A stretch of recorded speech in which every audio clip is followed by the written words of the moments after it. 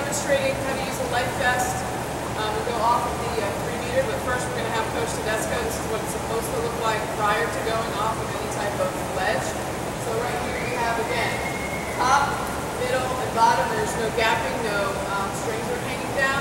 Okay, again, it's very important when you're going to be jumping off of any type of ledge. You want to have nothing hanging down that can get caught. So, same thing as the immersion suit. He's going to demonstrate when you walk to the edge of the.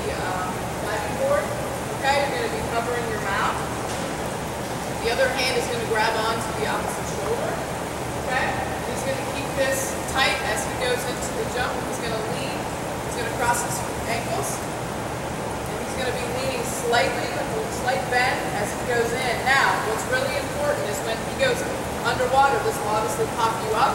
He's going to hold that until he pops back up, um, and then you can let go and then continue on to swim. So Coach is actually going to be demonstrating how to properly go off of the three meter.